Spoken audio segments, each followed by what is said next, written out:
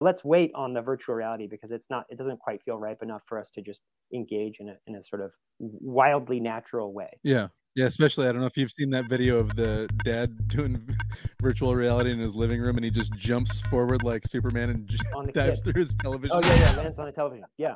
Yeah, exactly. Exactly.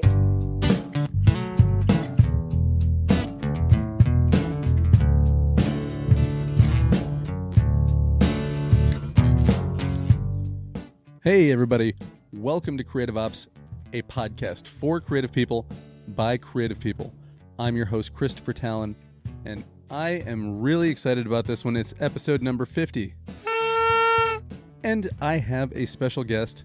His name is Christopher Daradics from the University of Oregon, the CASLS program, C A S L S. CASLS is an acronym for the Center for Applied Second Language Studies. We'll get it all into what that is because a lot of people think that that's ESL, but it's more than that. There's a lot more to it than that, and I'll let him explain it. Before I do that, I want to tell you one other thing that this guy's got going on right now. Christopher Daradics is also the curator at the Resonance Building. That's resonancebuilding.com, which you'll see in the show notes which was really fun to talk about because the Resonance Building is a collective healing and arts community that uses a combination of all different kinds of physical therapies that involve touching the body, but also involve things like meditation and the embodied voice, which is something that's coming up soon. The embodied voice, a resonance building field trip, which you don't even have to be in person for. They're doing this stuff online if you go to theresonancebuilding.com, you can see in their upcoming events the embodied voice. And the embodied voice is a two hour long workshop that will explore the voice using meditation, therapy ball rolling, breath awareness, visualization, restorative yoga, movement, sounding, and singing. The aim of the workshop is to empower and inspire you to use your voice freely and with full expression, gaining more awareness of the connection between your voice and body. The workshop is designed for singers, people who have no interest in singing, anyone who has been told they have a quote bad voice unquote and is scared of singing, those who would like to be able to say no more confidently, anyone who has trauma related to expressing their truth, or anyone who has experienced physical trauma in their throat area, anyone with health issues relating to the voice, anyone who feels unheard or has difficulty speaking up, and anyone else who is curious about using their voice in a more free, un inhibited manner. You can register for this event at resonancebuilding.com, and I'll have the link right to this event in the show notes. Check it out if that sounds cool to you. And also check out Christopher Daradics on all of his social media. He is at swagadics on Instagram. That's at S W A G A D I C S. That'll also be in the show notes and anything else that you need to say that I might have forgotten. So, whew, that was a mouthful. Get ready for an interview. This was a really fun conversation. That uh, actually one of the one of the edits that uh, we bridged in with um, music towards the end of the interview. We had already said goodbye and then stumbled onto something else and ended up talking for almost another half hour. So we're we weren't sure when we were going to say goodbye. We just couldn't couldn't couldn't either of us wrap up the conversation. Yeah, it was fun. It was fun talking to Christopher Daradics, and I hope you enjoy this one. We talked about a lot of things, so let's get right into it here, huh? All right, everybody. I'll see you on the other side.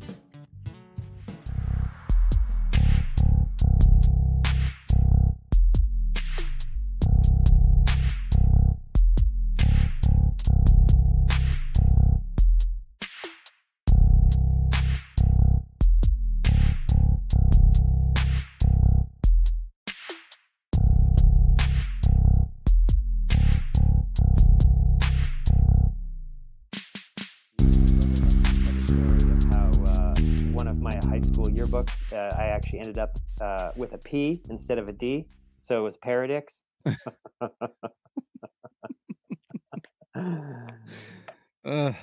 well, what what kind of a name is that? Because I've never seen. Yeah, I don't think I've ever seen that name before. Yeah, well, uh, it's interesting. It's an interesting story. My grandfather was Hungarian, and so it's it's it's Hungarian yeah, I mean, it comes to me through my Hungarian grandfather. Uh, it's not an uncommon last name in in Hungary, but um, they. Uh, I was in Hungary years and years ago and met uh, another uh, gentleman with the last name Daradics, and we were chatting, and he said that there was actually some uh, academic research that had been done around it, and it was like that there wasn't Hungarian kind of as far back as they could they could trace it, but I don't remember what it was, Slavic or something like that. Huh. In in Hungarian, the pronunciation is Doradic. Huh. Yeah. you should just start going with that from now on. Really throw Yeah. people for a loop. Doradic. A lot of my friends call me by my last name, and so and and one of them was Greek, and he so he kind of got the the sort of uh the spirit of it, and he called it right out. He's like Hungarian, you pronounce that Doradic, and I was like, yeah, Doradic Kristóf Vagyok. But that was as far as that's as far as my Hungarian gets. So Yeah. Well, it's better than mine. Um, yeah. okay. Real quick, let's just kind of go over your education.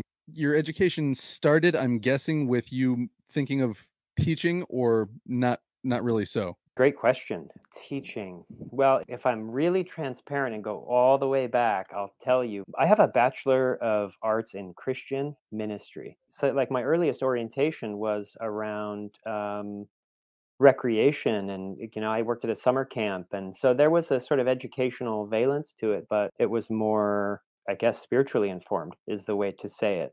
I went to an incredible, very conservative, but like very at the same time open minded, if that's possible. It is possible because it was the experience I had.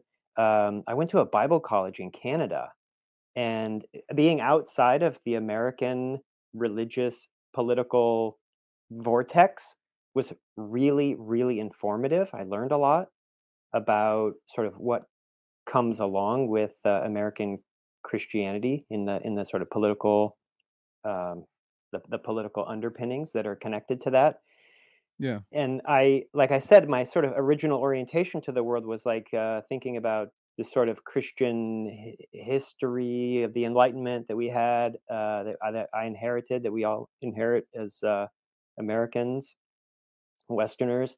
Um, I was oriented to thinking about the world as like that could be known in those sort of spiritual and theological terms. But this, but this, Mm. uh, at this at this school, I I got, I I was challenged to um, to come to realize as a result of the amazing instruction that I got there and interactions with beautiful human beings that that was one way of orienting to the world.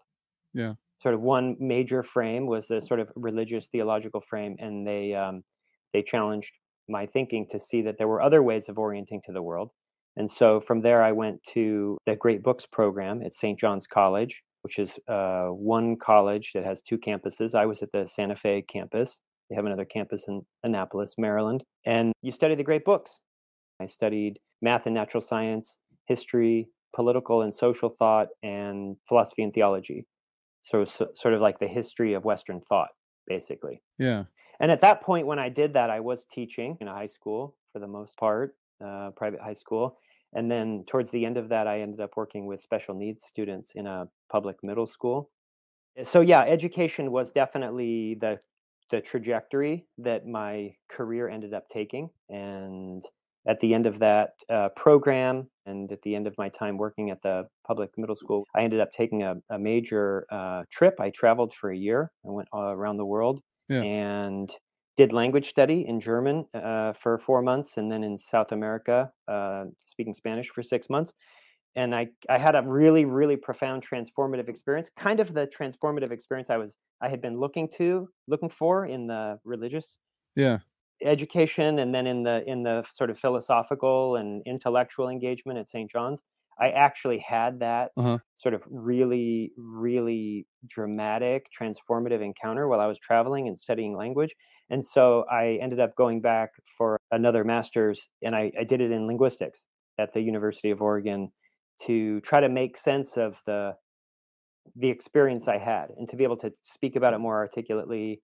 And so basically, the the work that I did there, um, I became um, focused on, and now sort of at the professional expert status around autonomous learning, learning in the wild, learning how to transfer knowledge from one domain uh, into a bunch of different contexts. Yeah.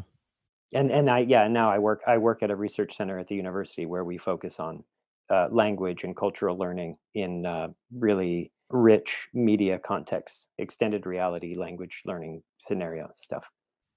Yeah, because the little bit, and I'm still not sure that I have the a full understanding of what that what that all entails. We kind of talked, Mhm. and I was saying, is it like English is a second language? Mhm. And you said kind of, but not really. So what? Where where do the where do the two kind of break off, and how do the two kind of work together? Because you know, I come from a, a background of teaching, and I've had kids that didn't really speak or let alone write any English, Mhm. and were you know mildly proficient Mhm. in their own language, and it was really tough to to try to you know properly engage those kids in a way that they were actually you know doing something worthwhile. Yeah. Yeah, it's a great question. And you know, I think honestly, that was a really interesting conversation you and I had there at the, the our first interaction. And and I, I maybe I've been thinking about it in the background. It feels much easier to answer now. Mm. And it's that I think, and I think I said something similar to this the first time, but it, it's I think that it's it doesn't really have to do with any inherent difference in the process of language learning. Like, yes, it's the same thing as what we do is the same thing as ESL. It is. Mm. The difference is that the culture of uh, the academic culture is sort of artificially seg- segregated between uh, world language learning for like quote unquote foreign language learning and um, and uh, something like English as a second language. Uh, the distinction being the the main sort of practical distinction being uh, most of the field that I work in is oriented towards a general sense that although people write against this all the time and say this is absolutely not the case but but this is the fact of kind of like why the distinction exists.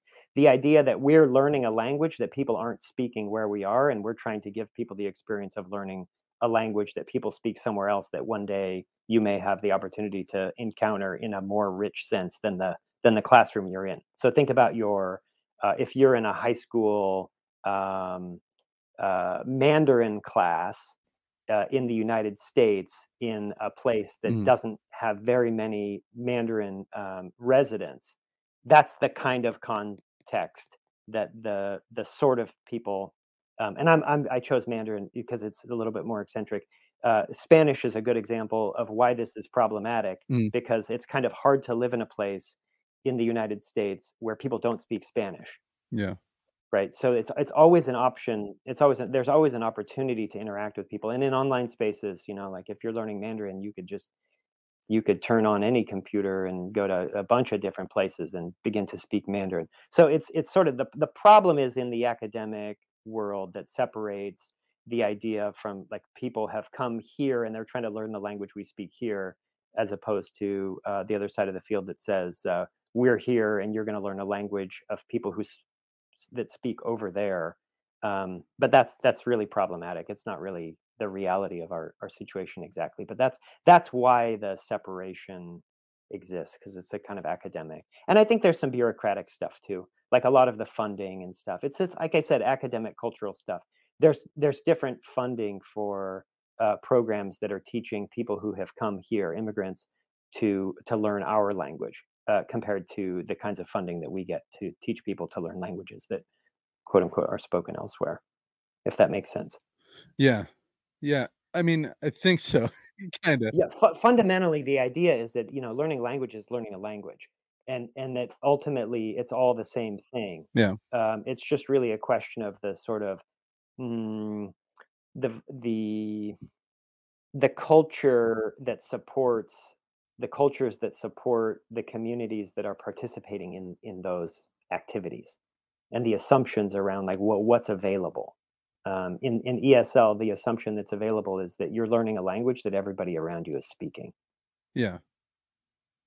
So I guess I'm not really sure where do you even start with that kind of thing uh, in terms of like how do you even approach research to build on some of the projects that you guys endeavor in because I've seen you guys have some I don't know what you call it not virtual reality but something kind of like that programming um as well as the the things that you have like the 30 day language Mhm, challenge that I saw. Um, do you guys call it CASLS or, d- or CASLS. Yeah, I that's right. it- Yeah, CASLS. okay?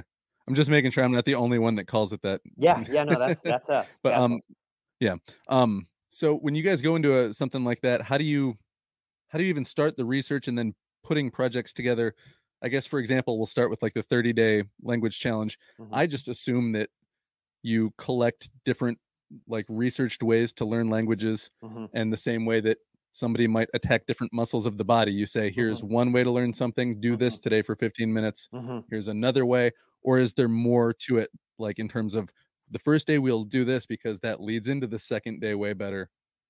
Yeah, that's a great question, and I think that it actually the the um, muscle building analogy is really actually very interesting uh, in ways that I'd I'd love to talk about.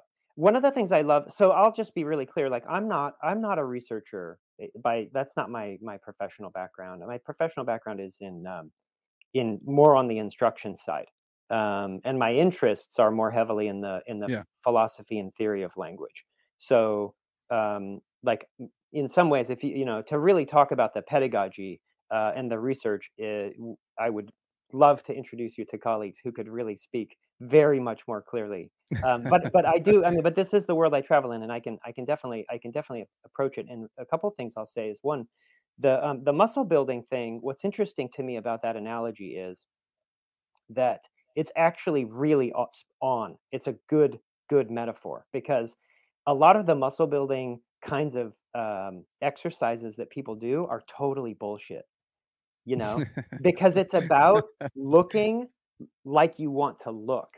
You know, like a six pack is like a Yeah. stupid yeah, thing no, I to have. I know a guy that uh I used to work with a guy that was always saying like, "All right, man, I can show you my workout program and that'll make you big or are you trying to get like strong because that's a that's a different workout." And I'm like, uh, I mean, I'm trying to get strong. He's like, "All right, no, cuz I'm I do this so that I can get my shirt to be tight in the in the sleeve, not so that I can actually go like hurt somebody or do a physical task with it." Yeah, yeah, and this is and this is a really big deal uh, because we we are so oriented towards our culture. I think we just have this predisposition towards the yeah, I want to fill out my shirt vibe and not really think about like no, I Yeah. want to be able to lift stuff that's really heavy because I work in my garden and I want to be able to move the pots around, you know. Um, and so that Yeah, really maps yeah. really really well to the language learning world, and I think probably to a lot of education. But in language learning, it's interesting because um, one of the things that my boss uh, Julie Sykes uh, says a lot, and her kind of her expertise and the focus of our center is in at the intersection of language in use, functional linguistics, which is in our field called uh, pragmatics. Mhm. Pragmatics, functional language use, immersive spaces like like Second Life, like virtual reality, like uh, yeah, the metaverse. I mean, that's the that's like this is a uh, the, the te- technology in use and play. That that intersection of uh, technology in use, uh, functional linguistics, and, and play is is where our focus is. And one of the things that she says all the time is like, in terms of the best way to learn a language, like those muscle groups, what would those muscle groups be? The answer is we have no idea. We have no idea because everybody's always getting pumped up and they're always like, work your bicep this way, work your abs this way. And nobody's really, until until pretty recently, surprisingly, nobody's really asked the question of like, how do you get strong so you can do all kinds of stuff without getting hurt? Um, that's functional linguistics. And so we have Yeah. this long tradition of of pedagogy, and uh, that word just means like uh, sort of how we learn, the infrastructure, the culture of learning, the support, the, the curriculum, all of that stuff. Yeah. You know, it starts like the history of our field starts with uh, what's called the grammar translation method, and that's like looking at uh, texts from dead languages and, and you know and trying to use um, old texts to be able to understand what people were saying and there's no practical um it's not that there's i was going to say there's no practical application and that's not exactly true i mean the whatever you're doing in the language is practical but you're not going to go out and use it you're not going to go talk with uh, with people who speak that language and, and point and say, "Hey, that thing right there, I want it. How much is it?" You know. Um, and Yeah. so that that kind of stuff. This is why sort of my interest in language in the wild and learning in the wild uh, is it's pretty it's a pretty hot topic in our field right now because people are trying to really figure out like, well, if you were going to learn a language in some sort of coherent way, what are the um, and of course, there's a lot of research on this, and and and I'm I'm sort of brushing over a bunch of details that somebody who researches that very specifically would be able to tell you. Like, here's a little bit of orientation to um, to what we do know, but the the gist of it is that we really don't know uh, what the sort of ideal um, progression would be. Um, and and so for me, Mm, the uh, coming back to the language theory stuff, the um, the main grounding that I get comes from um, what is called like the ecological uh, approach to language, um, an ecology of language that says that something like the environment is the place we start, um, and being able to do, you know, to index and point at something and say that and this and me and you, which are all pointers and references, and trying to figure out how to use that sort of embedded, here we are doing this thing uh, kind of language to, to sort of build out into more abstract things where you can understand uh, grammatical structures and why syntax you know changes the meaning of things. But in the history of linguistics mm, um, people started on the more analytical side and they've been moving from analytical which which is like they're looking at grammar and, and word forms and word parts and and trying to talk about meaning um, and then only more recently realizing oh wait a minute meaning meaning is always uh, wrapped up in the in the negotiation in the moment um, so there's this major mm. reorganization that's happening in our field um, so yeah how, what's the best way to learn a language uh, just begin trying it and spend some time with people who understand what they're talking about and having them give you information about uh, ways to improve and help structure your experience and then also like having like a real need and a real demand to try to figure out how to wrap your mind around the things you want to accomplish you know You put your Yeah. put some skin in the game um, so it's not Yeah. real programmatic in that sense I would say the best way to learn a new language is to go live in the place that you're trying to learn. But yeah, that's not always available to everybody. But yeah um, fall in love yeah, from taking several years of languages, uh, well, not languages, German in in school, like in high school, I can rem- remember about as much useful German as Mhm. I can the Spanish that I learned from being in Spain for a week and a half. Yeah, exactly. Exactly. And that's that that's you're you're you're completely in that very very pithy anecdote are like kind of framing the entire conundrum that our our field sort of is untangling right now. Lots of people uh, Yeah, jumping ship from trying to learn because we did lots of reps of like what Yep. go up the Yep. stairs and to the left. Yep. But like how many times are you going to say up the stairs and to the left to somebody? Yeah. And the feeling, the feeling of like, hey, you're cute. What's your phone number? That feeling is really sticky for, you know, for being able to attach meaning and and and then use the muscles in your in your mouth and your tongue, you know, and the air in your lungs to be able to push out the the utterance uh, in your target language. Yeah. Like, hey, you're cute, you know. Do you know what I mean? Yeah, without without sounding like a weirdo, yeah. yeah yeah yeah exactly exactly or whatever Yeah. whatever that looks you know that that uh that food looks looks good does it have this thing that i'm allergic to in it Yeah. you know those the the putting the the sort of the skin in the game getting the the meaning to um to mean something to you is really there's a lot of uh, there's a lot of energy in our field right now focusing on that and we would call that uh um, socially and ecologically valid um, contexts I'm curious to know like specifically how uh, CASLS um works together with uh, existing classes and professors and Mhm. how, how you guys integrate kind of the experience for people who don't have uh, you know English as their first language or whatever the case may be. Mhm. Well, at least the stuff that you guys do isn't just aimed at people that don't speak a certain language, but it's aimed at people that well, I don't know, you can tell better than I can with my rambling yeah no no no worries with my rambling question kind of what what all the what all the people that are most affected by what you guys do. Yeah. So um, so we're we're one of eh, it's either 14 or 16 i can never remember um, federally funded language resource centers.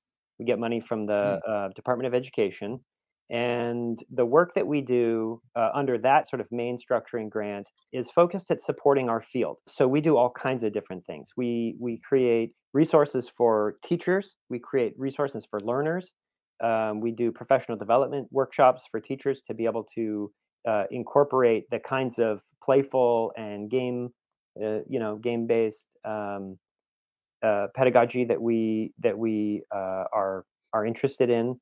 Um, and then, yeah, we have like really practical videos for students on really specific topics about like if you look at we have a YouTube page connected to our, our intercom weekly newsletter and that the newsletters for teachers uh, but then the videos that that go out there are for students and they're on topics like all all kinds of things how to memorize more words how to how to be somebody just flushed the toilet i'm not sure you can hear that but it's very distracting. I'll just put music in behind it.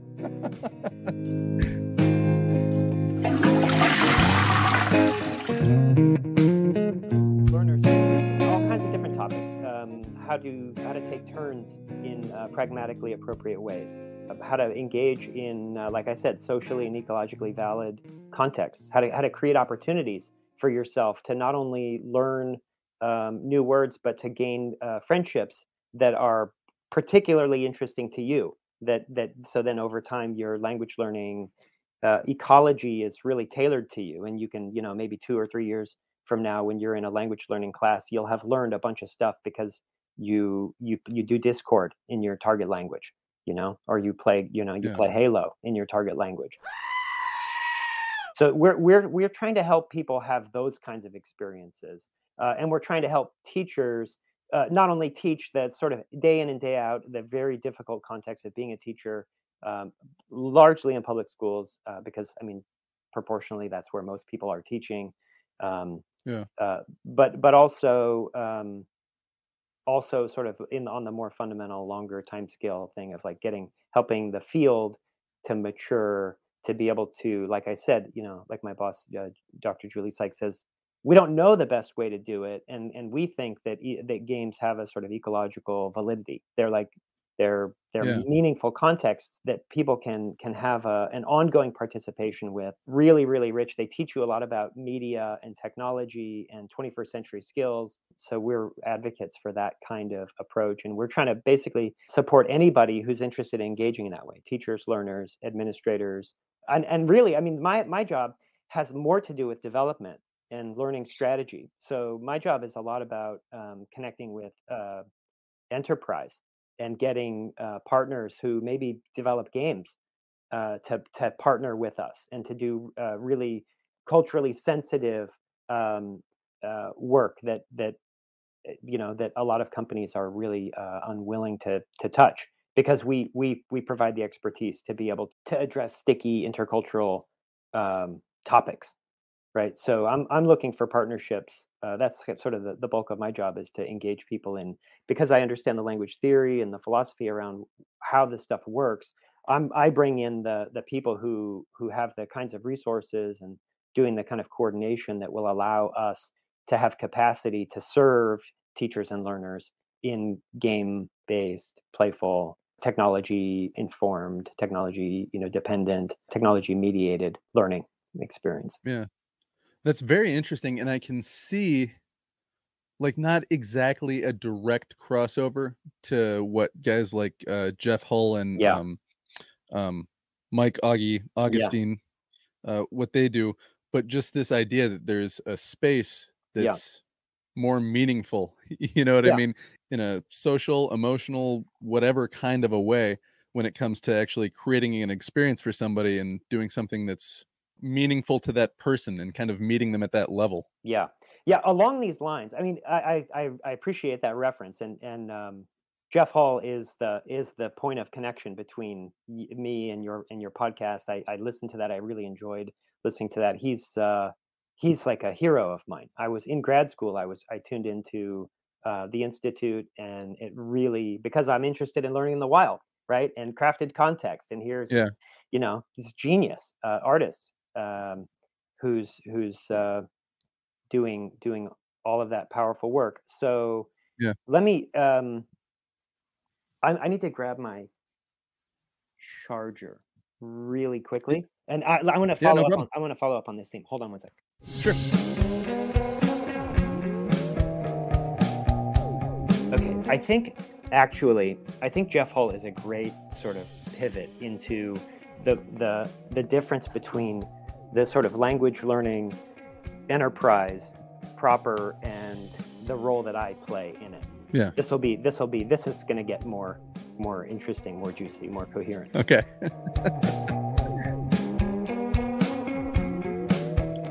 So, like I said, uh, my boss, the director of the Center for Applied Second Language Studies, Julie Sykes, is a leader in our field, a leader, a world leader at the intersection of play, immersive space, and language in use. And language in use from the perspective of language in use across cultures and how it varies. How some cultures think about power in one way and how other cultures think about power in other ways. How some Hmm. cultures think about uh, an ask like asking a favor. Uh, Mm. Certain things are are uh, severe in one culture and not in another, and then other things in in a culture might be a severe ask, and in other cultures not. Uh, things like uh, orientation, um, indi- like individual orientation versus group orientation. Some cultures speak as we, and to speak as I in that culture is like a disorienting sort of proposition and in other cultures it's the other way around.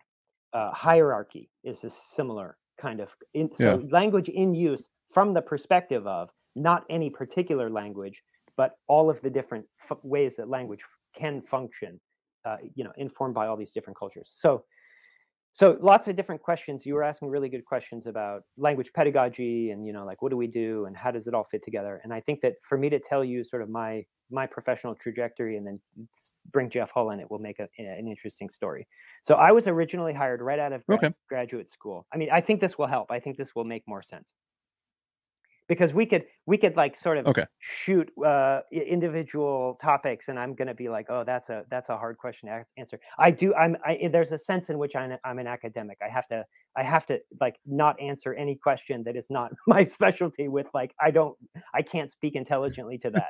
So let me so let me tell you here's here's the here's the story. In graduate school i was writing uh, a capstone project focused on um, what I had titled uh, the, the, the capstone project was an emergent ecological curriculum for study abroad. Thinking about individual learners going out into the world. I was in, inspired by Ram Dass's The Curriculum. Life is the curriculum. So how do you like programatize that? And I watch The Institute, and I think, oh my goodness, this is really really interesting. This person made a game in San Francisco, and it just is like profound. I was learning a lot, and I had done a little bit of work, professional teaching work around uh, LARPs, and so and then I got really interested in the idea of the the sort of uh, Scandinavian LARPs that are a little bit more uh, live action role playing games. Um, for those who aren't familiar with LARPing, uh, and the Scandinavian kinds have a have a sort of a more open world orientation. And Jeff's work is this like very open world um, game environment where the the boundary between uh, fact and fiction is blurred. And and that and i i'm interested in that same exact chasm but from the other side of the of the gorge from the sort of epistemological Mhm. side that asks uh, how do i get grounded versus his is like how do we unground people? In, in both productively right? I'm thinking Yeah. i think a lo- yeah, my all of that sort of ph- philosophical background my interest is in epistemology uh, how do we know what we know? Semiotics what is the nature of meaning right so these are the kinds of things i'm studying. How do we get grounded? How do i learn something and use it to transfer into other domains? Um, calibrate my capacity for understanding something in one place to apply in another situation. And he's like completely undoing that uh, but in a in a productive way. So i think this is really interesting. Mhm. so I end up getting hired uh, at the end of that program by uh, our our director Julie um, to work in a virtual reality language learning project funded by Deutsche Telekom for the Syrian refugees coming to Germany. Oh. And um, through that process, I learned so much. I spent a bunch of time in Germany. I spent a bunch of time working with refugees. Um, I spent a bunch of time interfacing with Julie and really, really fun, like actually learning, like what do we do? uh, because it is Yeah. kind of hard to wrap your mind around. And and we're Yeah. pretty eccentric, and they're like, well, you think about regular classroom environment and like how, what does extended reality have to do with like learning in a regular classroom? And this is the story I'm I'm trying to I'm, I'm trying to tell here. I'll, I'll try to get get through Yeah, yeah.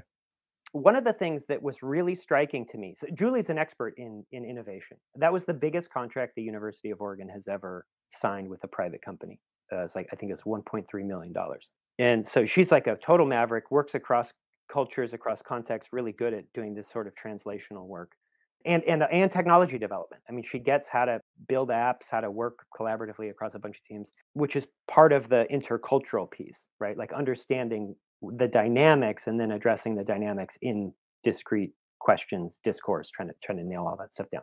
So Yeah. i noticed that developing for virtual reality took a lot of energy and resources on the sort of engineering side and we spent a lot of time just Mhm. managing the process and i kept asking questions about is this our expertise? Is our expertise in like scrum or in agile you know development? And we're we we we can do it. We have a tech team we have people who develop but we don't have we can't like looking at the sort of the development of of education and this sort of transdisciplinary mandate in in the in the world to come in the world now like nobody can do it all we have to be more rhizomatic in how we how we do all this stuff.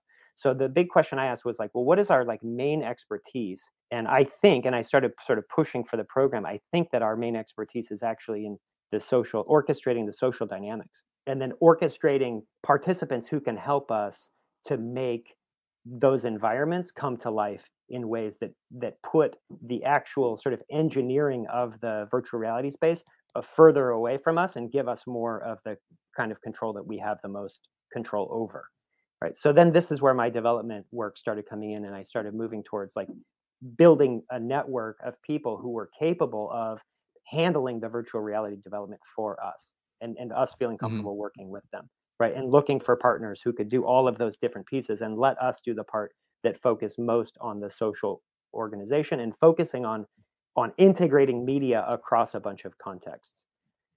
So um, so we started moving in the direction of away from that virtual reality project once that was done into more ex- uh, sort of a disposition towards extended reality which which feels more natural because it's already we're already saturated. I mean all the conversation around the metaverse like from my perspective the metaverse started you know whatever however long ago 40,000 years ago maybe more like when we started flint knapping and we, our our hands changed shape as a result of beginning to make tools. We started making tools Yeah. and making tools changed the shape of our hands, right? And probably vocal mm. production has also changed the, the the shape of our bodies. We're going up, right? We're getting taller. We're coming off the ground. Yeah. hip- hips are getting underneath us. As our hips go underneath us, our shoulders come on top of our hips. It frees our diaphragm to and the hyoid bone and all of this to be able to project all of this stuff out. We're, that's the metaverse. We're we're already moving. We're already techno, we're Yeah. already co-articulating with technology. So let's design experiences that make good on this continuum always being at play. Let's not go into some space that's ethereal and computational and and and completely dissociated from the body, which is bad language theory, right? Yeah. That's like we already learned that lesson in linguistics.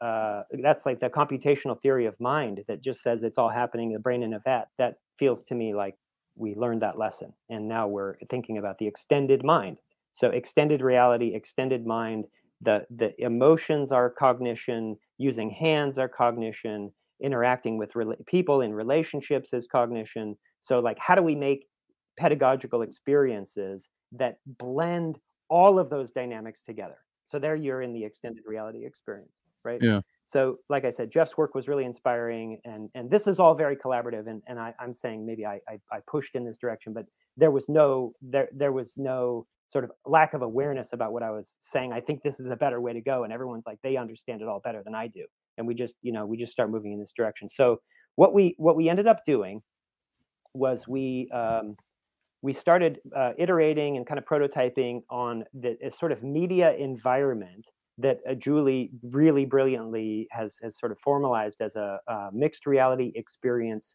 toolkit.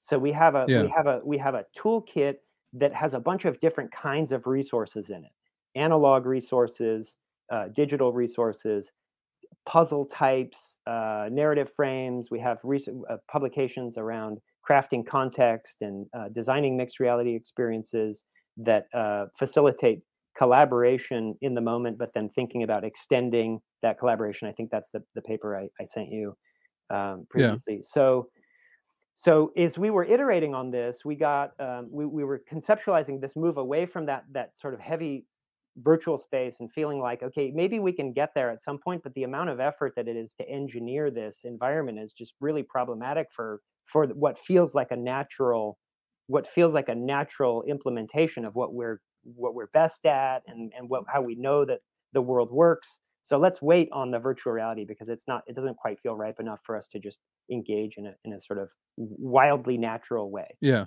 Yeah, especially I don't know if you've seen that video of the dad doing virtual reality in his living room and he just jumps forward like Superman and j- on the dives kid through his television. Oh yeah, yeah, lands on the television. Yeah, yeah, exactly, exactly. And that that's like, yeah, there's. It pains my heart to, that people are like so. Not not that it's not interesting and engaging, but that like that that would be the uh, that that would be the thing that we're striving for feels really flat to me. What we're what I'm Yeah. striving for is integration across all of these domains. Trying to Mm. integrate that, so how, you know maybe maybe uh, maybe a, a heads up sort of display that you can see the environment still like an A- AR kind of thing, but even more thoughtful than that, even more higher dimensional, um, where we're really integrating different kinds of technology, different kinds of media across a bunch of way, uh, di- dimensions in the way that Jeff's experiences do, right? So I was gonna say that almost that almost sounds like it gets into uh I don't know if you've read or seen um Ready Player One yeah, and everyone kind of exists on Oasis and Oasis Yeah. is this everything where you can buy stuff, you go to Mhm. school there, you can play games there. hmm yeah, I don't want to see that. I, I think that that I think that that's too flat because it only Yeah. exists out there, and we're already. I mean, you you we're right now. This conversation is is technologically mediated. This is a rich space. You know, uh, we met Yeah. on Instagram. I I uh, I I followed up on on your website. Uh, like those are dimensions, right? Yeah. And that's what Jeff's great at and so we and Yeah. that's this is how we think about crafting context so with the mixed reality toolkit we started iterating we did a um, a live experience a locative like place-based game in montreal for our colleagues uh, at the calico convention which is like i think cons- I, I always forget it's consortium for language technology uh, professionals like researchers who work in language and technology um, lots Yeah. of people focused on play and we did a we did an experience that uh, used a narrative that was a local narrative about the Simon McTavish, who was a fur baron, and uh, and we told we we told the story that the engaged the participants in having to ask the ghost of Simon McTavish, who's like the headless horseman of Montreal, basically.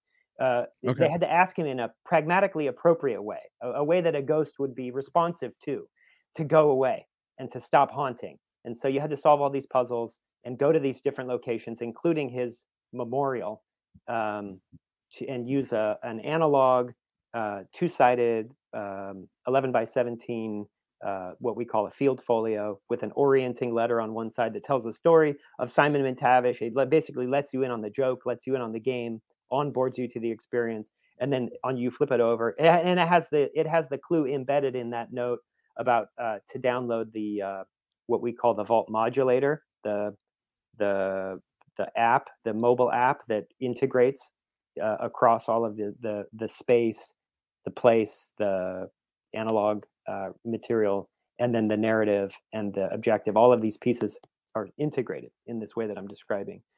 So we had our our uh, our colleagues do this in 2019, and then uh, they went through the experience, solved the different puzzles, uh, and then we the kind of the objective, the social function at the end was to have them all come back to the conference hotel bar and everybody had an amazing time. We filled this entire place up with our colleagues, just you know, e- either griping about the horrible time they had, or smiling and full of joy about having played a fun game with their friends.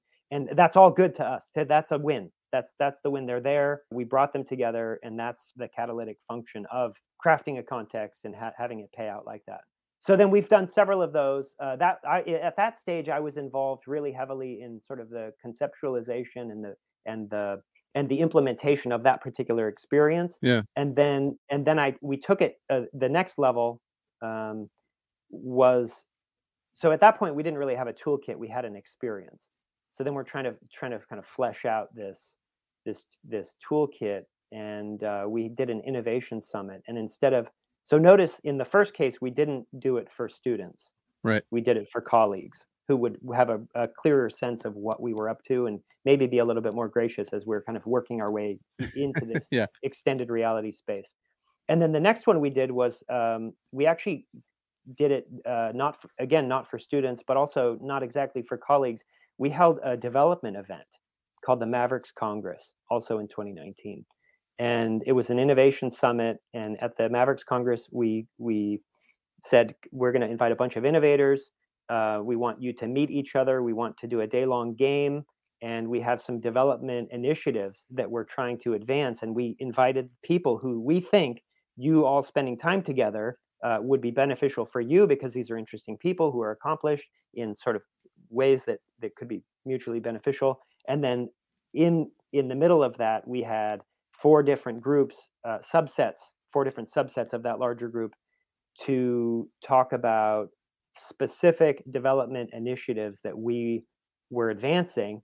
And the reason we invited these people and grouped them in these special ways was to have an opportunity to talk with each of those groups about those spe- four specific development initiatives and, and mm. co-create avenues, co-create opportunities to to elaborate those possibilities together, which is a, a sort of an implementation of the kinds of things we're working to do for learners.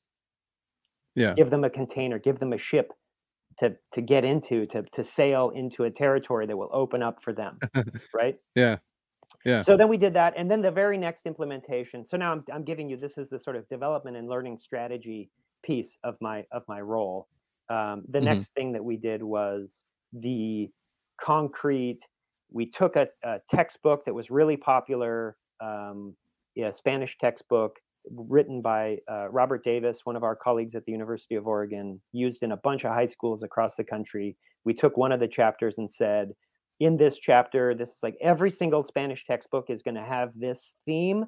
And what we want to do is, is give it a sharper point and create a, an entire gameplay mixed reality experience where we're going to throw analog resources on top of all of the content that they learned in that lesson in that unit uh, so postcards, uh, more maps, uh, uh, subway maps, um, and then and then all of that is keyed into uh, the Vault modulator, the the the app that we have, and students use the the the app to find out what the next task is. Use the analog resources to to trigger you know they trigger augmented reality overlay they trigger uh, speech uh, recordings. They they use do speech to text to see if they're getting the right answer.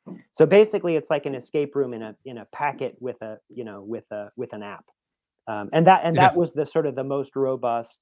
Um, the, the sort of the final the final piece in our in our iterative process in developing this mixed reality toolkit. Now now we have this sort of very fleshed out thing that we are continuing to develop. Uh, we have implementations for um, business people to learn about communication across across cultures and across kind of different uh, uh, cross-functional teams focused mm-hmm. on power uh, like all of the dimensions i mentioned before power uh, social distance uh, and and so on. And yeah and and we're making we make bespoke experiences like that for language learners or for companies or yeah you name it. So i think that that uh, that that sounds like a growing uh, growing field if that field industry even. The whole yeah i think that the whole industry is is growing. I mean definitely uh, the extended reality and the immersive space are, are really growing. And i'm i'm really dedicated to to taking the the in, immense depth of knowledge in our field and sharing it and and inviting participation from others uh, because people in our field understand you know negotiation of meaning across cultures.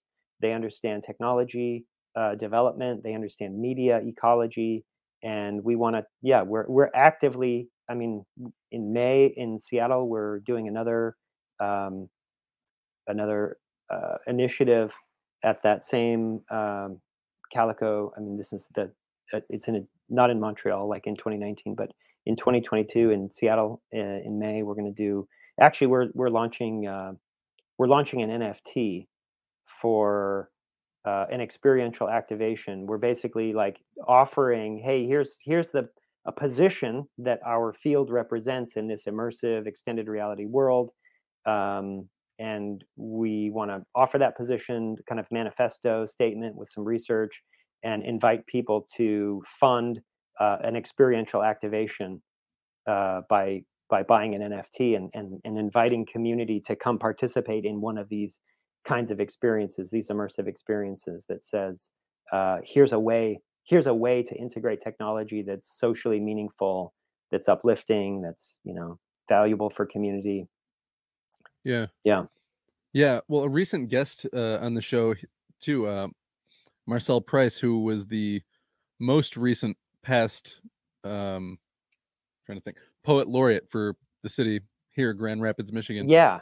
Yeah, they're, I saw that. they're post. developing stuff with uh, the 49507 project that's the same kind of an idea where they're trying to beautify spaces with um, art that's meaningful to the people around that community but then also you know there's things that you can look up and see on your phone oh there's a whole story behind Yeah. redlining and gentrification that goes along with this mural that otherwise is just also a beautiful thing to see Yeah, yeah, we have an initiative. Yeah, we we uh, we submitted a grant to the National Endowment for the Humanities uh, under this project title "Sight Unseen," which is exactly what you're describing. Working with humanities scholars across the world in particular locations to tell those stories, those unseen histories that uh, you know that the main kind of the prominent narratives don't incorporate and saying this this specific place has a bunch of other histories that are submerged and we want to figure out ways of using media and technology and social you know social innovation social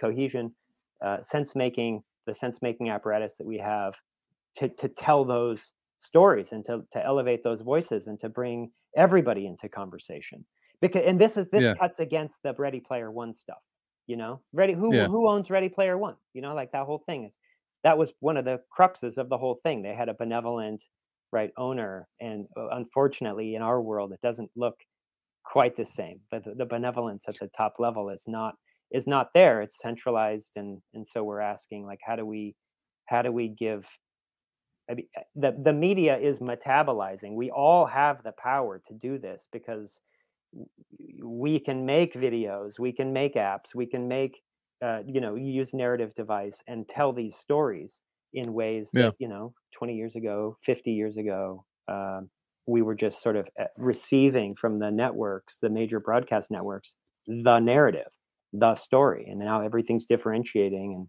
it's getting more interesting and more dif- yeah more differentiated more colorful let's honor those stories and honor each other and learn how to communicate better okay that kind of moves into something else that i want to talk about too with the resonance building Ah, yeah, cool. I was wondering if we were going to cover the whole spectrum. Yeah, here we go.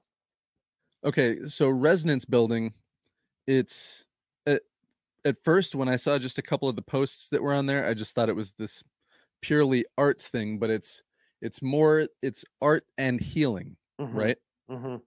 Or well, no, what's what's the tagline on there? Is is it it's not art and healing, but it's something to that effect. Um, yeah, well, it's a work in progress.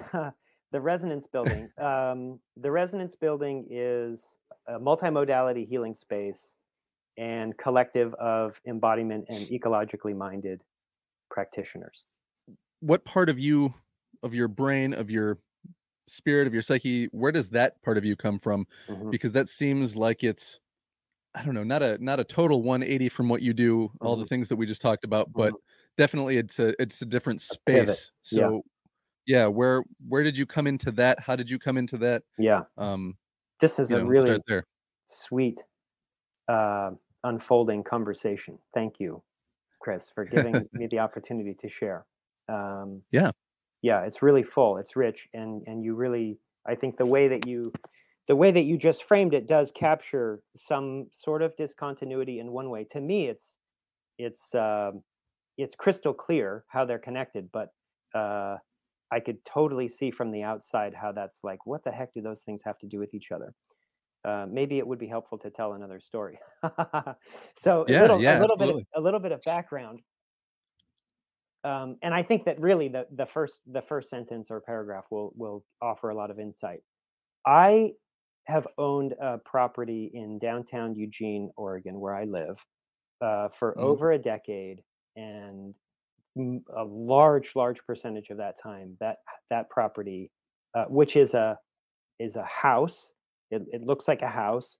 Uh, it is a Mhm. house, eh, but it's also. I was gonna say, what is it if it's well, not a well, house? yeah. I'll, I'll go on. It's it's in a special zoning area in the city, and Okay. so it's zoned for commercial and R5. So we can have commercial business. I can have signs out in front of the house. I can have practitioners doing business in the space, Mhm. and also people can live here. Uh, I've lived at the house most of that time, um, and uh, and and the entire time there have been people working in the in the building, and Mm. most of the time, like for the it, yeah, I said I've owned it for over ten years, and and in about the for about the last ten years, it has been somatic healing arts practitioners who work in the space. Okay, start with Yeah. what does somatic mean? Somatic means the body, the soma, Okay. the body. So we have acupuncturists, we have massage therapists. Oh yeah, like the soma and the pneuma and all Yeah, yeah. So somatic practitioners. Uh, so my my home has been host to many people um, coming through and having their bodies uh, directly manipulated by professionals who do healing work, who do massage therapy. You know, um, yeah, like I said, acupuncture. There's also a, um, a mental health therapist who's a, a meditation. Um, actually, I'll, I'll say at this point, this is a good place to interject. The mental the mental health therapist who's currently working here, Kendra Vida, is also uh, on the leadership at the Neuro Meditation Institute here in, in Eugene. She basically Neuro Meditation Neuro Institute. meditation, it's like neurofeedback basically Yeah. neurofeedback they put a they put a eeg cap on you and they register your brain state and they are able to tell you which which style of sort of neural signature you have and what kinds of meditation will help you find sort of regulation Oh wow, that's fantastic because I tell people that if I try to just like sit with my legs crossed, close my eyes, and focus on my breathing or focus on a specific thought or thing I want to get done or whatever the thing is, I can only sit there for a couple of minutes before Mhm. like, you know, that ADD part of me is just Yeah. like, ah, I can't take this anymore. yeah that's not uncommon. But I could sit there in one spot and not move and play the guitar for hours. yeah And so I say that, you know, for me, that's what meditation probably should feel like is what I get out of playing the guitar. yeah well maybe playing the guitar is meditation Yeah. Yeah. And actually that that there you go. I mean, that's exactly to me that's that's what we're up to. That's the creativity piece. So and the thing that the thing that sort of combines them all together is that if you're familiar with uh, Lakoff and Johnson, Metaphors We Live By, the work of Mark Johnson, uh, George Lakoff is very, I mean, very well known. Uh, he he did a lot of metaphor work with the philosopher Mark Johnson. Mark Johnson Mm. teaches here at the University of Oregon, and when I was in grad school, I had the very, very uh, distinct pleasure of taking his uh, philosophy of language class. And in that class, we learned, uh, I mean, like from the mouth of the the master, Yeah. uh, how he would always say things like um, meaning emerges from the environment through the body, and we Hold on, let me let me let me sit with that for a second. Yeah. Meaning emerges from the environment Mhm, to the body, through the body. Yeah. through the body, Mhm. from the environment through the body. Yeah, Okay, sorry. Go ahead. Yeah. I just wanted to make sure that I got that and I could think about Yeah. it for a second. from the environment through the body and through the kinds of environments that we evolved out of. Mm. So, meaning is not something that happens on a page. It's something that we have been co creating for a really long time. And some of those forms have become formalized in ways that we have very efficient shorthand for mapping meaning from one domain to another. But it all has to do with the body.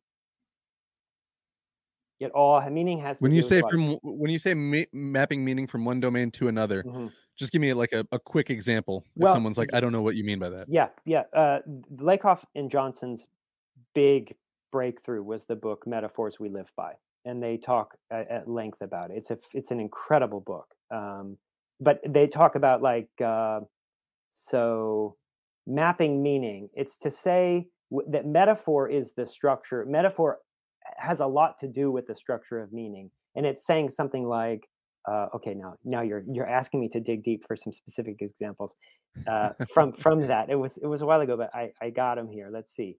Um, states are well. I'll give you. Let me give you a specific example, and then maybe I won't. And maybe the thing that I'm groping for will will, will emerge. Um, Yeah. uh, States are places, or state like a journey. Life is like a journey. We're getting there. Mm. When I say we're getting there, we're getting there means that um, there was a previous place that we occupied. We're along Mm. the path of some kind of journey, and we're going to arrive at some kind of destination. Right. Okay. So our interview in this interview, we're really getting somewhere. Is is metaphorical, and it's it's or at least it's it's maybe it's maybe we mean it literally, like we're getting somewhere. We're really we're really covering a lot of ground. We're really unearthing a lot of territory here in this conversation. But uh, and and we might mean that like in a, in a literal sense like uh, we're we're really uh, a lot of information is coming through we're making a lot of connections this makes a lot of sense but really it's all rooted in this in this uh, locative metaphor a place based movement based metaphor that says well we started in one place where we didn't know each other we didn't have a common understanding and through the course of stepping through the journey together we're coming to understand each other um, in ways that we didn't before. So we're arriving, we're getting there. Yeah. And and that that metaphor that metaphorical structure provides uh, a framework that they talk about. That that's the mapping. So in order to project meaning into a given context, you have to have some other set of entailments from an original context that that map to in, in order to map to to bridge from one to Mm. the other. Uh, so try to use like words that are a little bit more manageable. In order to understand something together that we don't understand, we have to Mhm. understand something together that we do understand, and we can use the thing that we understand together as a common frame of reference to talk about Mm, the yeah. things that that one of us may understand and the other doesn't. So, a good example personally is uh, I use a ton of surfing metaphors, especially with my brother who also grew up surfing. Yeah. So to think about like uh, wave selection, if you're you know you're surfing, you don't you can't you can't take every wave. So one of the things that Lakoff and Johnson talk about is like the logic of space hmm the logic of space. And here's an example in surfing metaphor, or the logic of time, the logic of experience. Wave selection, when my brother and I sort of for our shorthand, means like don't you can't take every wave. And you want to take the good ones. Yeah. So you got to be judicious. And so when he says, you know, like, well, it's just a matter of wave selection, it's like, well, look for the best opportunity. Julie, my boss, says, uh, I think this is maybe a Brene Brown reference. Um, she says, you know, what's a bigger yes?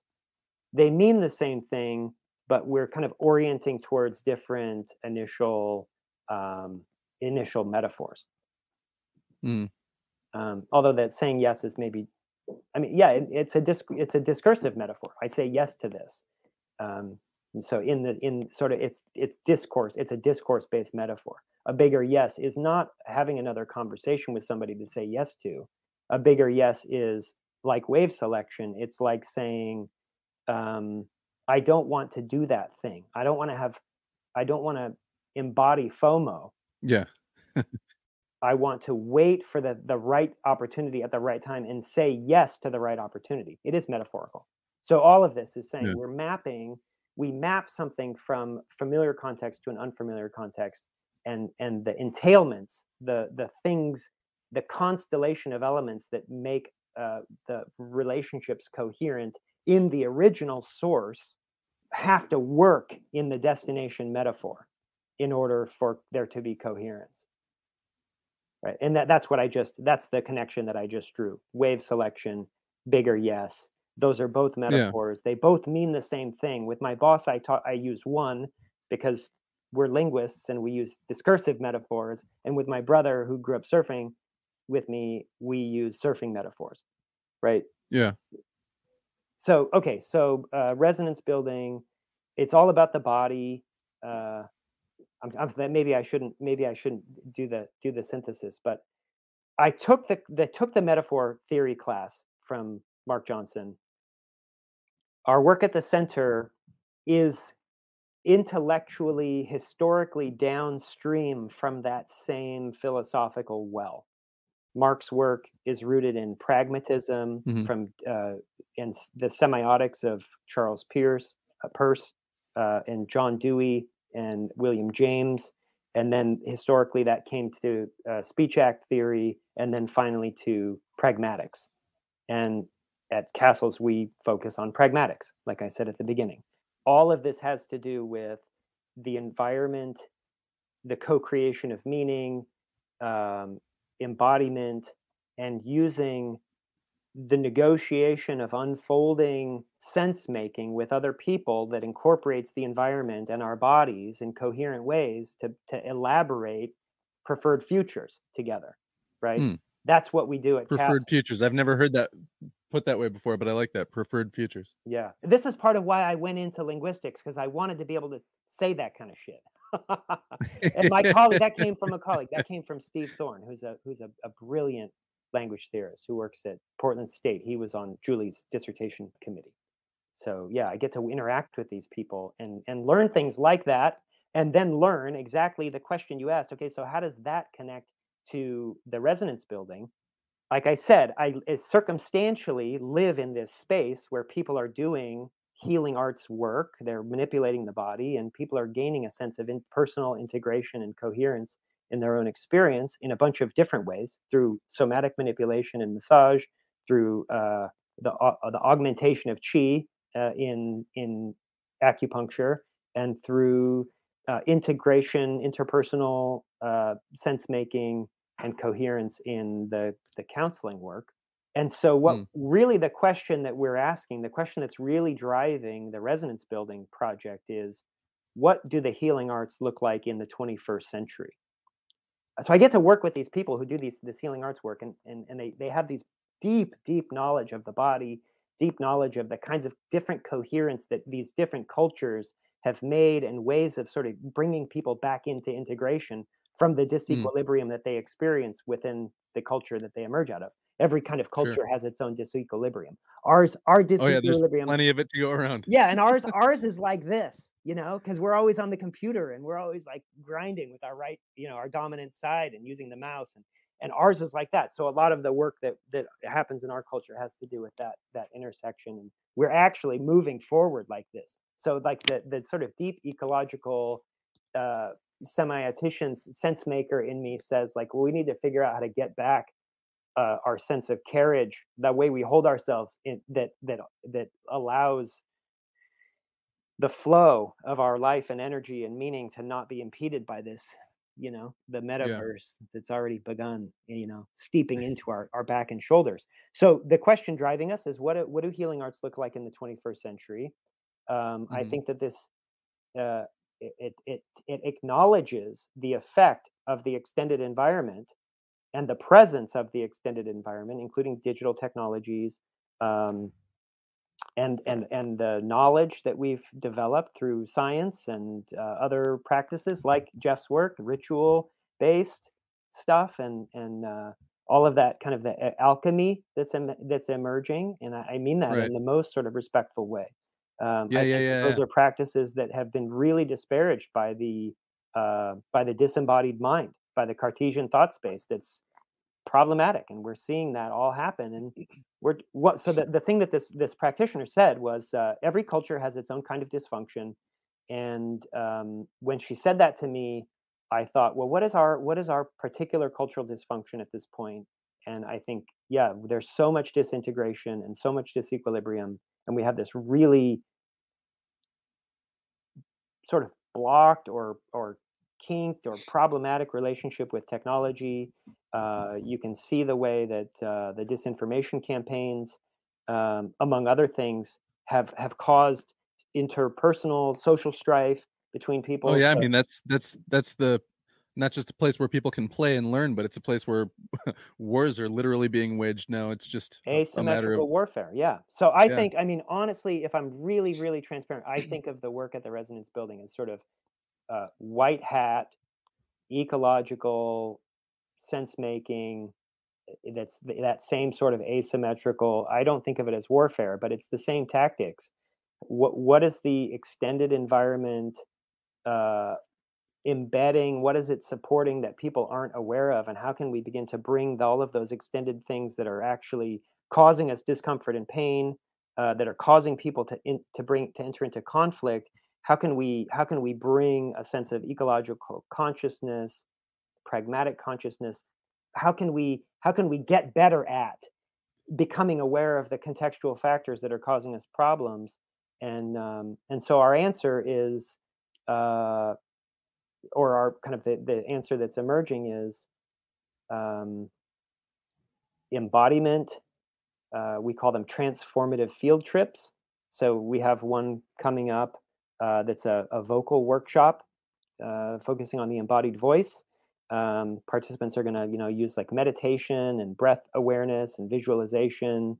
Um, yeah, for which singing. is cool. I'm just starting to get into that myself. I got the uh, the book Breathe. Yeah. For Christmas, but just kind of started cracking into it and really getting to the point where I'm like, oh, I can embrace these different exercises. Yeah. And they're yeah. very, very cool. Help yeah. you relax or to help you focus.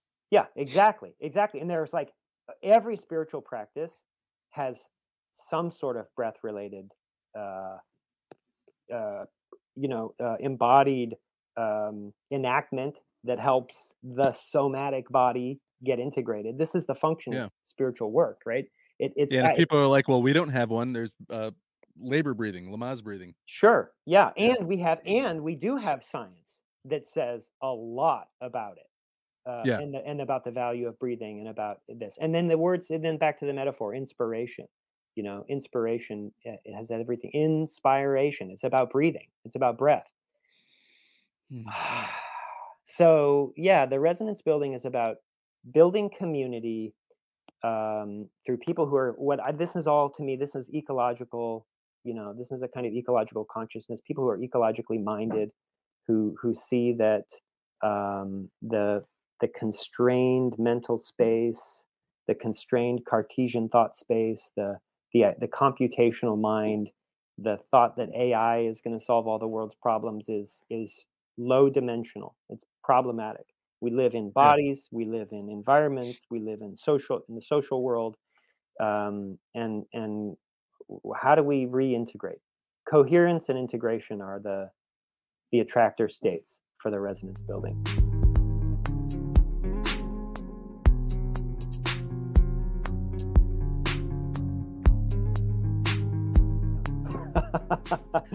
Yeah, I mean the resonance. I the, there's the backstory. Um, so, like I said, I, I own this building. Uh, people have been doing the healing arts work. When I was in college, I took a singing at this at this Christian school that I went to with these amazing people. I took a voice class, and I learned in this voice class that when my body is relaxed and in its natural state, I will find access to the most profound vocal resonance that my body can produce. So, this resonance metaphor has been really meaningful for me to ground my body, to feel that sense of connection to my own experience that's inside of me and not in, in the thought space. And then, when the pandemic came, we had a lot of turmoil at the university. We had students uh, we we uh, the, the Center for Applied Second Language Studies hosts student groups, and we had to send them home. So like a major source of funding was cut off, and I had been feeling this growing sense that my own professional capacity, the resources that I that were under my discretion, were being underutilized. And so I offered to Julie, who I have a wonderfully collaborative and intimate relationship with uh, in the in the most sort of professional way i mean uh, Yeah, you know yeah, we, yeah, we, we were really we're just really in sync and i said i think that if i focus on bringing everything that you have helped me learn and come into practice and be able to if i can if i can integrate that expertise in my custodianship of this healing arts office building which is what it had been at that point uh, I think that I will become better suited, better, better um, supported in doing development work for the center. I think we will have more opportunities e- emerge as a result of me elaborating that side of my my experience. So I said, "What do you think about my hours going down?" And she was like, "Oh my God, that's a great idea. Thank you. Yes." And so since August of 2020, I've been um, I think that's right. Yeah, I've been focusing on the resonance building and, and sort of servicing the the work at the center minimally. Although that just uh, that just switched. I, my hours just went way back up at the center, and so now I'm I'm kind of straddling these two worlds.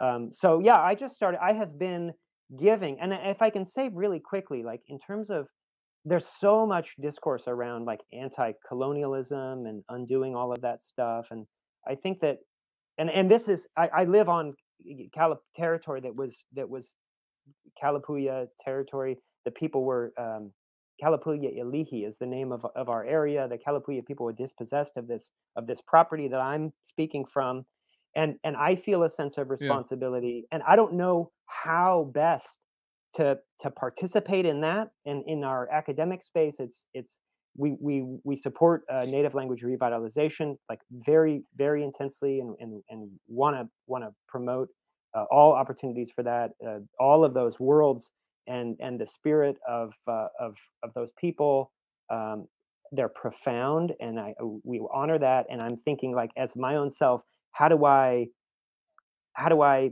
not continue to exacerbate but sort of be part of a sort of loving subversion of the the dominance and so i've just been giving uh care to this space with an intention to uh create opportunities for community integration community healing and and, and like i said and it and it it's also integrative of my own sort of ecological you know equilibrium with work and with the space and so increasingly we're inviting the community to participate in these uh, again extended reality experiences here at the resonance building.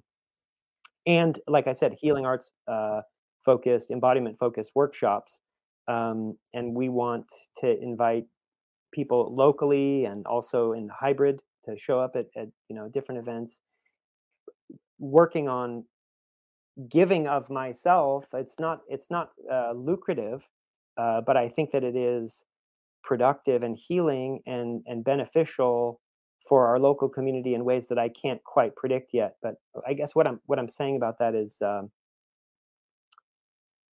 uh, i i have a sense that by by cultivating and by trusting that process to evo- to evolve the resonance building Yeah. will emerge in ways that will um, that will have a an integrative um, aspect and we'll we'll bring conversations to the table and bring people back into I think I mean bring the the the us settler you know the white folks into a sense of uh, of grief and and uh, you know like and and and acknowledgement that uh, although it's not necessarily our conscious direct action we we inherit a, a legacy that was really violent and and you know like now now what do we do? Well we part of it i think is we embrace the difficulty of and the discomfort of our own experience of of of that and try to figure out ways to process our own experience and then begin showing up not outside of our right i mean what i'm saying is i'm not going out and trying to fix anything i'm just saying like within this space here i think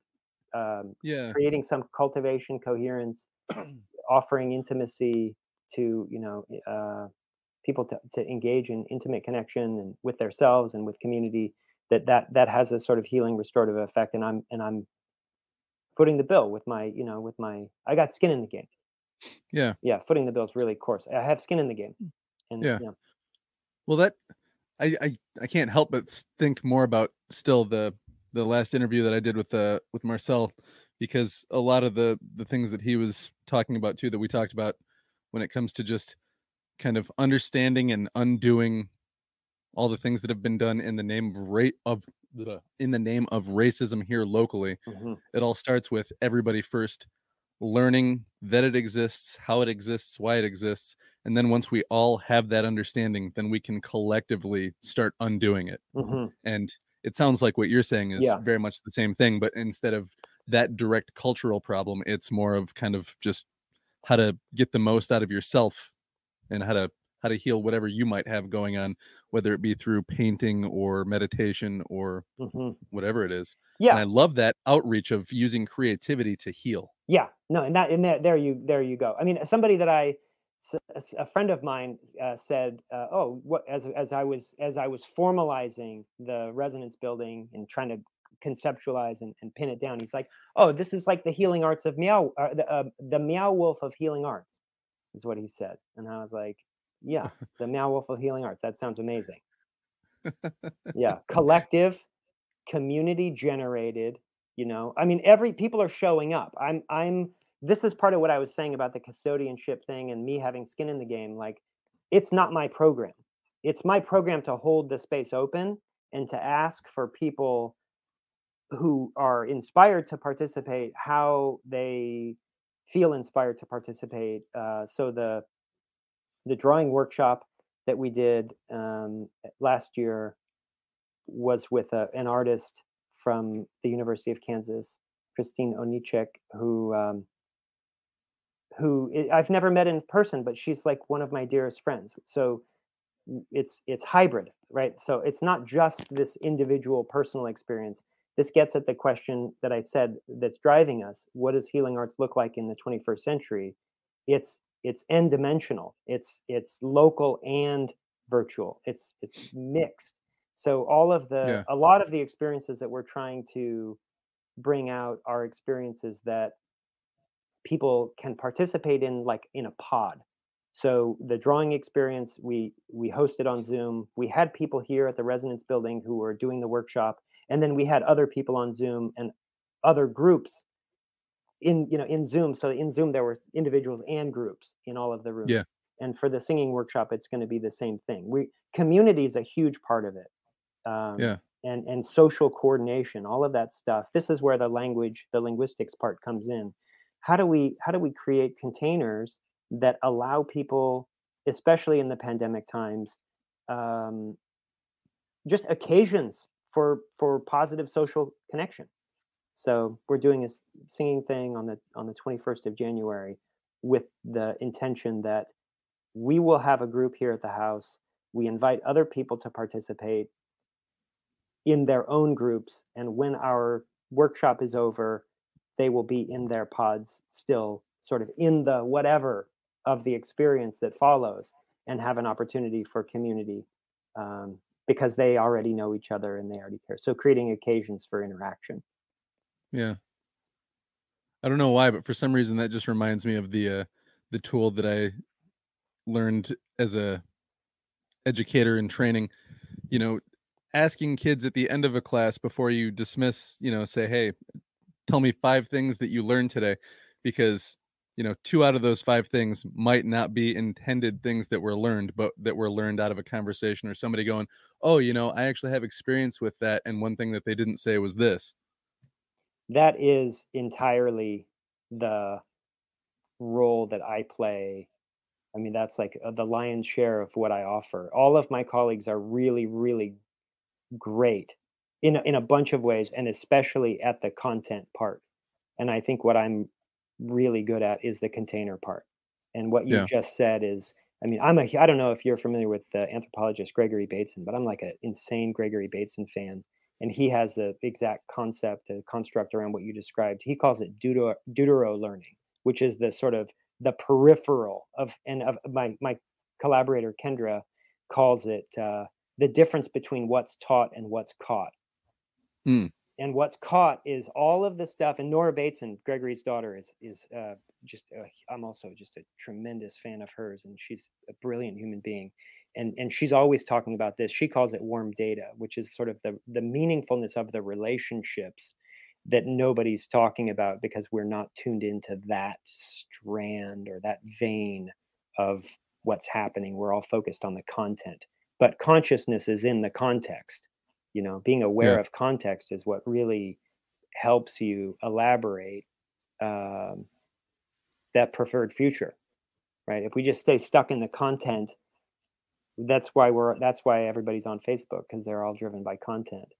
Um, and so thinking about media ecology embodiment community building um, that gets us out of the content and into context and we focus then on instead of trying to always get it right we begin focusing on trying to make it right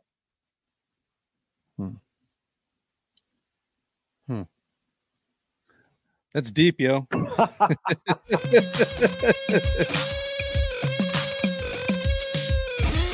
yeah, and I'm glad that there's uh, something I can push people towards too in, in that uh, in that vein in that genre because I'd like there to be more community around just this show, but there's only so much of an opportunity for that. You know what I mean? Mhm. With uh with the format and the kinds of guests that I have. So yeah this is this is fun. This is exciting. Neat. Yeah, well, it's great, and the the idea of of having a show around the creativity, the creative process is, I I absolutely love it. I think it's really brilliant, and I I just appreciate the the fact that you're holding the space open and and keeping at Oh, it. thank you you. do a great job. Oh, I appreciate that very much. Yeah. I really do. And uh yeah, it's it's a show that's become a little bit different than what I thought it was maybe originally, but um man, it's been talking about creativity being healing. Yeah, I started this podcast yeah, I think the first episode I interviewed somebody maybe like a week or two before everything shut down um initially. wow, So this this podcast has become like my creative community yeah, throughout the pandemic and without it, I don't know what I would have done. great. Well, there you go. I mean, that's exactly what we're talking about, and that's Yeah. what, right there. That's a hybrid community uh, focusing on embodiment. The creative creativity is an embodied endeavor. You know, Yeah. you can't get away from it. The extended mind is there. You you think with hands and things and people, and that's. I mean, we're on the same. We're riding the same moonbeam there. Yeah.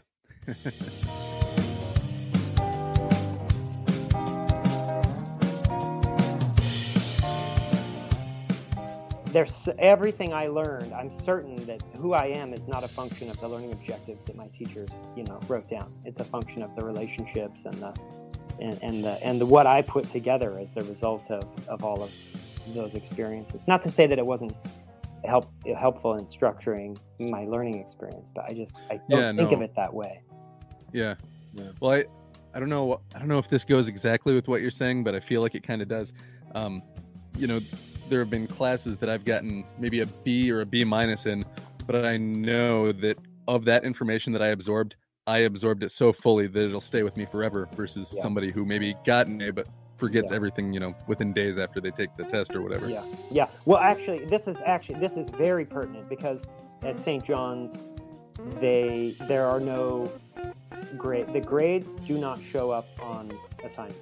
All you get when you get an assignment back is feedback, and it's extended. That's it's that's a beautiful thing. Yeah, well, the whole program, the program is really uh, interesting. And if you want to cut this back in, you're welcome to. I'll say a little bit. I mean, St. John's is a very interesting program. I mentioned that you only read the source material, so you're reading like Plato and Aristotle and Descartes and uh, and uh, yeah, Hume and Locke and and and Heidegger and Kierkegaard and yeah, like I mean, you just you you you deal directly with the material. There's no textbooks. There's no secondary or tertiary sources.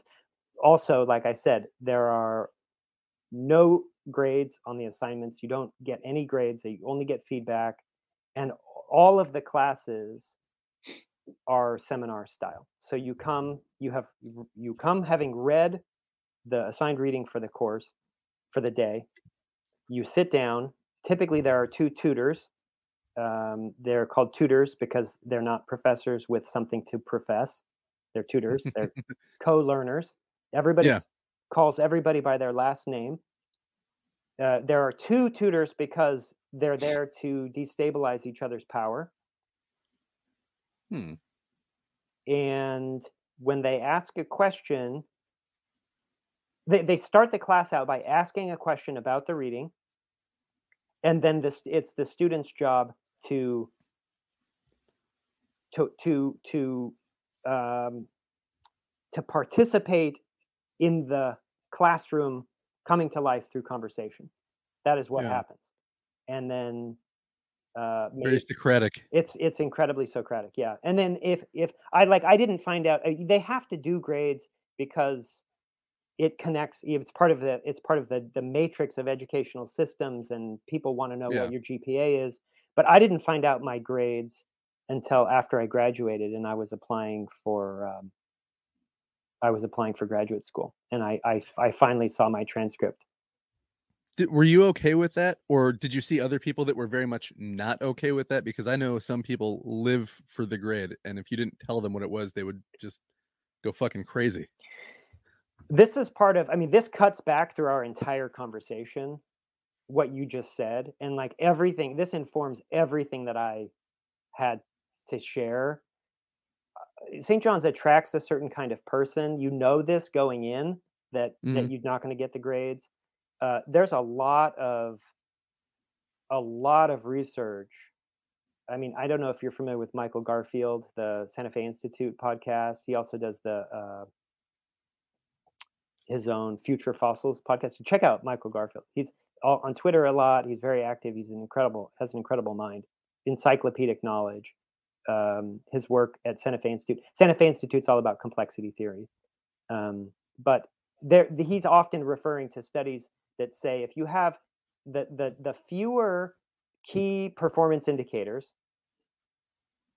the more gamed the participation will be to to get to get that performance indicator into whatever desired state the the, the actors who are who are engaging will, will Mm. they'll they'll move it in the direction it, by whatever means necessary. And so it it causes a narrow an intense narrowing of focus. If you Mhm. want people to not pay attention to what's happening around them give them a very specific performance indicator. Yeah, and what they will focus on is achieving the performance indicator and not what's happening around them right. Yeah so so did it eh, those are the people you're talking about those are the people who are obsessed with grades and Mhm. the reason that in my mind that that's problematic is because they all that they know how to do is play the grade game and they are not Mhm. learning in the way that you described getting a b and learning a ton in there were classes i Yeah, took the stress is in the result rather than the, what you've gained. And it's and it's in and it's in the result by the means of the game that's that's laid out that indicator as the thing that you're going for.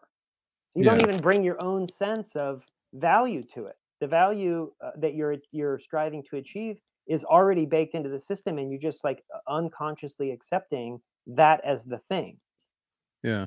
yeah. So uh did it bother me that i didn't see my grades? No i knew that that was what i was getting myself into um and i had always felt like grades were too low dimensional to really tell me the things that would help me get better and at st john's i got you know pages of comments about Yeah. you know like this your rhetoric is really strong here but there are some you know whatever there are some ways that you communicate your ideas that seem obscure or in you know incoherent or this piece right here you could have done x y and z and they write out what they are to you know and like do you how do you how often do you get that Yeah. Um, you know Well, So- I always felt like the best work that I did with any students was in the summertime.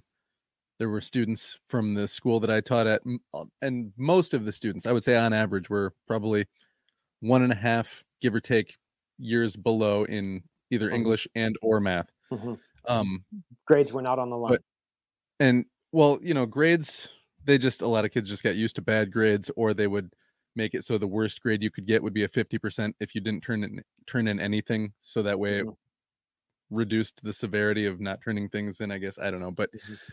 um in the summertime the kids that needed the most help were you know encouraged to come back in the summer and we didn't have any grades Yeah, and yeah, that's what I mean. everything that we did was just Yeah. built towards having like two or three really good written pieces done Mhm. that were either like a personal story, something that happened to you, or something Yeah. that you made up or whatever. And these kids just, I just said, here, write about this like Mhm. this and this kind of a way. Now it's your turn. Mhm. And they would do it and I would give them feedback. Mhm. They would respond to the feedback, do something Mhm. again. I would give them new feedback. Yeah. And we just did that all summer long until at the end they had these amazingly well written pieces. Yeah. That people were like, no, there's no way these kids. It's like, yeah, that's what happens if Yeah. you like Focus really try to educate them in the in the field of writing, not just get them to Yeah. learn how to write a thesis statement wha- with its three supports and a conclusion. Blah blah blah. This is a great example of that. What I said, Bateson's Deutero learning, and what the Deutero part is that in the in the conventional in environment, and I, I want to be cautious. I'm not speaking as a representative of uh, uh, of CASLS, just as a you know, Right. just in my own sort of my own perspective that what you learned, what you're describing to me is, in the first case, uh, students learning how to game, le- learning what the system tells them is important, which is Mhm. the grades, and not giving a shit about it. Yeah. And so the into the system, what's important is the administrative convenience of capturing a measurement that doesn't have anything to do with necessarily doesn't have any doesn't necessarily have anything to do with their learning. Yeah. but that's a it's a convenient way of accounting for the fact that they were there and that there they had some kind of participation. So the deutero piece there is the, the contextual deutero like second the the, the hmm. outline the halo of that experience is grades and and and- credit hours are important to the system and you have the group of students responding we don't give a shit about that Yeah. in that first case. And in the second case, what you have is you have a, a group of people who aren't there to achieve grades or credits. Yeah. And you have an instructor who's passionate about writing. And the Deutero piece that comes along there is process. We're going to focus on working through this process until you feel, until we feel as a, as a community, we feel like you've achieved something that's got integrity, that has a sort Yeah. of coherence to it. And what do you Mhm. communicate there? What's caught in that environment is that dude cared about writing and he cared about me and he doesn't have to care about grades.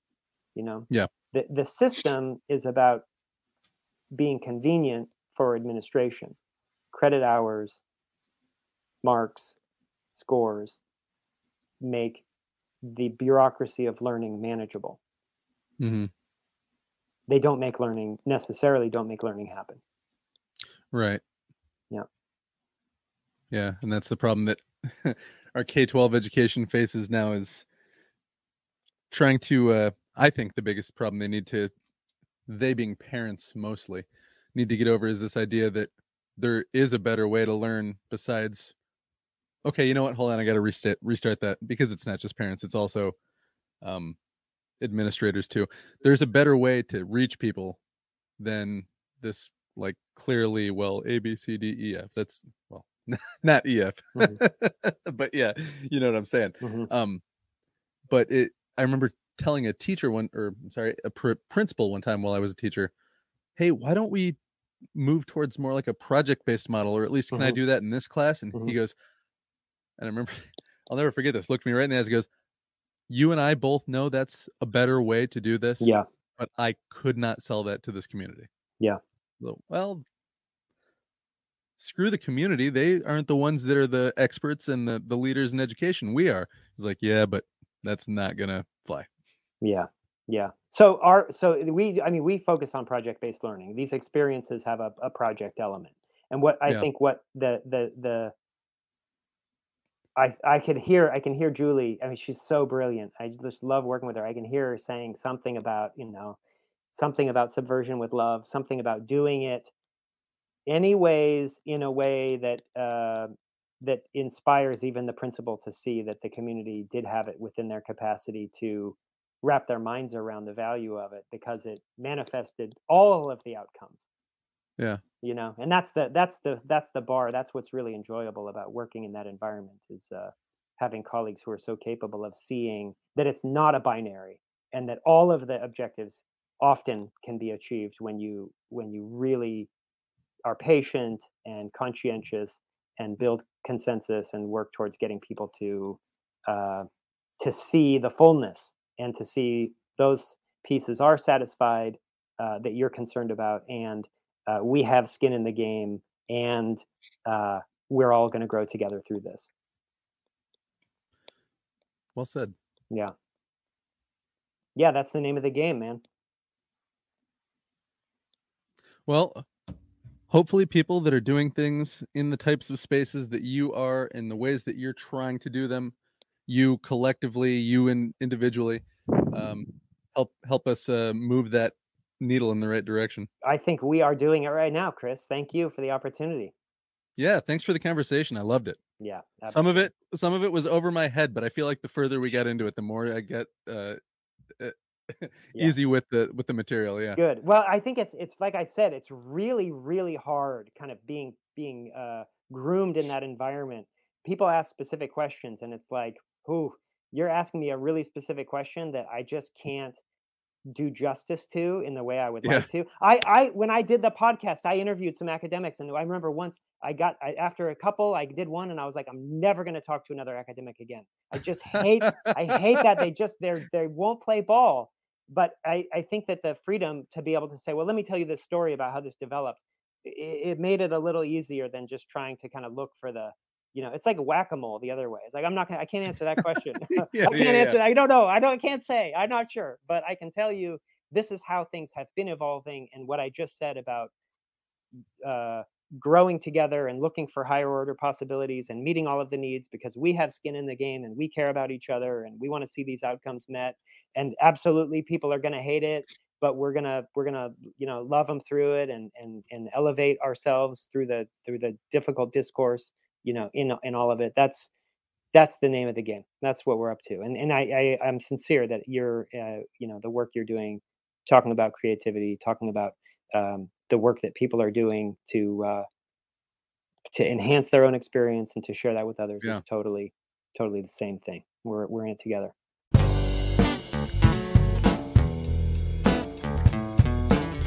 Sweet, sweet. Well, keep it up, man. Cool.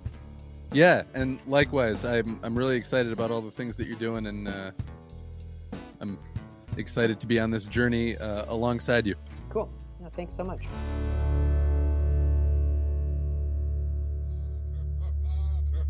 Everybody, thanks for listening.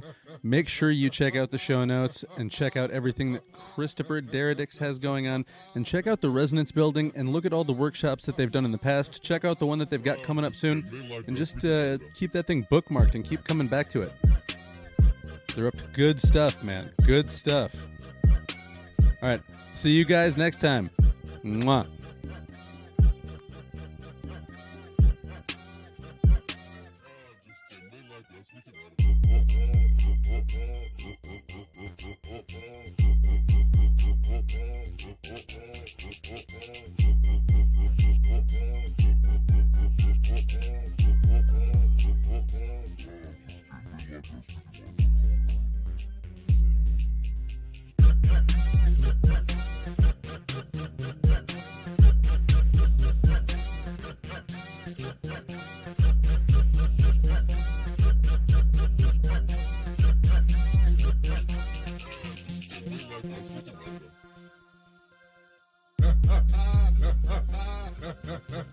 Yeah.